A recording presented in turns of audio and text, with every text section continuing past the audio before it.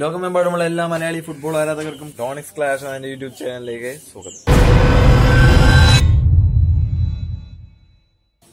എന്താണ് യഥാർത്ഥത്തിൽ ഒരു കേരള ബ്ലാസ്റ്റേഴ്സ് ആരാധകൻ? ഞാനൊരു ഫേസ്ബുക്ക് പോസ്റ്റ് കണ്ടതാണ്. എന്താണ് യഥാർത്ഥത്തിൽ ഒരു കേരള ബ്ലാസ്റ്റേഴ്സ് ആരാധകൻ എന്നുള്ളത് നമുക്ക് പറഞ്ഞു തരുന്ന ഒരു പോസ്റ്റ് ആയിരുന്നു അത്. അതായത് Kerala Blasters versus Girona F C മത്സരത്തിൽ ജിറോണ എഫ് സി കേരള ബ്ലാസ്റ്റേഴ്സെ തോൽപ്പിക്കുമെന്ന് അറിഞ്ഞിട്ടും കേരള ബ്ലാസ്റ്റേഴ്സ് തിരിച്ചടിക്കുമെന്നും തിരിച്ചു വരുമെന്നും അവസാന നിമിഷം വരെ പ്രതീക്ഷിച്ചു കൊണ്ടിരുന്ന ഒരു ശരാശരി മലയാളി ഫുട്ബോൾ ആരാധകനാണ് യഥാർത്ഥത്തിൽ ഒരു കേരള ബ്ലാസ്റ്റേഴ്സ് ആരാധകൻ എന്ന് നമുക്ക് പറയാനായിട്ട് സാധിക്കും എന്നുള്ളതാണ് ഒരു പോസ്റ്റ് ഞാൻ കണ്ടത്. വളരെ ഇൻസ്പയറിംഗ് ആയിട്ട് ഒരു പോസ്റ്റ് ആയിരുന്നു. സത്യത്തിൽ ആ ഒരു നിമിഷം തന്നെയായിരുന്നു Kerala Blasters versus Girona F C മത്സരം കണ്ടപ്പോൾ നമുക്ക് തോന്നിയത്. അവസാന നിമിഷം വരെ അവസാന ശ്വാസം വരെയും കേരള ബ്ലാസ്റ്റേഴ്സ് പോരാടുക തിരിച്ചു വരുമെന്നും കേരള ബ്ലാസ്റ്റേഴ്സ് ഒരു ഗോളെങ്കിലും മടക്കിയടിക്കുമെന്നും ഓരോ ആരാധകരും മനസ്സിൽ വിചാരിച്ചിട്ടുണ്ടാകും. അവർ തന്നെയാണ് യഥാർത്ഥത്തിൽ ഒരു കേരള ബ്ലാസ്റ്റേഴ്സിന്റെ ആരാധകൻ എന്നുള്ളത് ഉറപ്പ് തന്നെ. പിന്നെ പറയാനുള്ളത് ജിറോണ എഫ് സിയുടെ ഒരു ക്വാളിറ്റിയാണ്. ജിറോണ എഫ് സി എന്ന് പറയുന്ന ഒരു ടീം വേൾഡ് ലെവലിൽ കളിക്കുന്ന ഒരു വലിയ ടീമാണ്.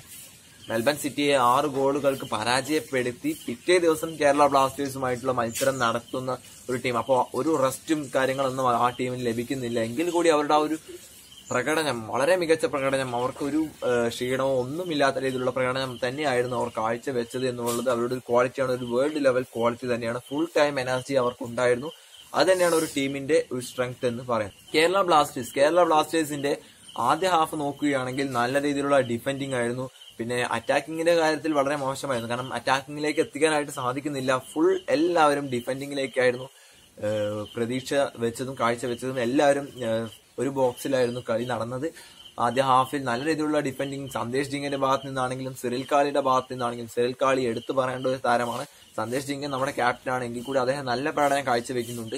സിറിൽ കാളി അദ്ദേഹത്തിന്റെ ഒരു ക്വാളിറ്റി അതായത് നമ്മുടെ വലിയേട്ടൻ എന്നിപ്പോ പറയുന്ന ഒരുപാട് ട്രോളുകൾ വരുന്നുണ്ട്. അതായത് അദ്ദേഹം നല്ല രീതിയിലുള്ള ഡിഫൻഡിങ് കാഴ്ചവെച്ചിട്ടുണ്ട്.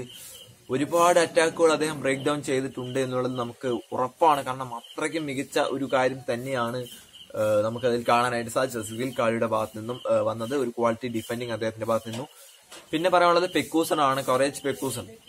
മികച്ച പ്രകടനം തന്നെയാണ്. കുറെ പെക്കൂസന്റെ ഭാഗത്ത് നിന്നും കാഴ്ചവെച്ചത് അദ്ദേഹം കഴിഞ്ഞ കളിയിലും ആണെങ്കിലും ഈ കളിയിലാണെങ്കിലും നല്ല രീതിയിൽ മരിച്ചു കളിച്ചു എന്നൊക്കെ നമുക്ക് പറയാനായിട്ട് സാധിക്കും.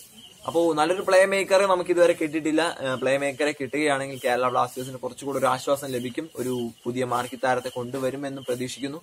മാർക്കി താരം വരികയാണെങ്കിൽ അത് വളരെ ഒരു വലിയൊരു കാര്യം തന്നെയായിരിക്കും. കേരള ബ്ലാസ്റ്റേഴ്സിന്റെ ഈ മത്സരം അഞ്ച് ഗോളുകൾക്ക് പരാജയപ്പെട്ടു എന്നുള്ളത് ഒരു തോൽവിയൊന്നുമല്ല കാരണം Girona F C Melbourne City ആറ് ഗോളുകൾക്കാണ് പരാജയപ്പെടുത്തിയത്. അപ്പോൾ അതേപോലെയുള്ള ഒരു പരാജയം നമുക്ക് ഏറ്റുവാങ്ങാം ഒരു അഞ്ച് ഗോളിലാണ് പരാജയപ്പെട്ടത് എങ്കിൽ കൂടി നല്ലൊരു രീതിയിലുള്ള കളി അവരുടെ പുറത്തെടുത്തു. കാരണം മെൽബൺ സിറ്റി ആദ്യ ഹാഫിൽ തന്നെ ഒരു നല്ല രീതിയിൽ ഗോളുകൾ വഴങ്ങിയിട്ടായിരുന്നു. എന്നാൽ കേരള ബ്ലാസ്റ്റേഴ്സ് അങ്ങനെയല്ല. കേരള ബ്ലാസ്റ്റേഴ്സിന്റെ ഒരു പ്രത്യേകത എന്ന് പറയുന്നത് ആദ്യ ഹാഫിലൊക്കെ നല്ല രീതിയിൽ കളിക്കുമെങ്കിലും ഒരു അറുപത്തഞ്ച് എഴുപത് മിനിറ്റ് കഴിഞ്ഞതിന് ശേഷം കേരള ബ്ലാസ്റ്റേഴ്സിന്റെ കോൺഫിഡൻസ് ആൻഡ് ക്വാളിറ്റി വളരെ ഡിക്രീസ് ആയി പോവുകയാണ് നമുക്ക് കാണാനായിട്ട് സാധിക്കുന്നത്. അത് എല്ലാ വർഷവും അങ്ങനെ തന്നെയാണ് സംഭവിക്കുന്നത്. സെക്കൻഡ് ഹാഫിലാണ് ഏറ്റവും കൂടുതൽ ഗോളുകൾ വഴങ്ങുന്നത് എന്നുള്ളതും കേരള ബ്ലാസ്റ്റേഴ്സിന്റെ കാര്യത്തിൽ എടുത്തു പറയേണ്ട ഒരു കാര്യം തന്നെയാണ്.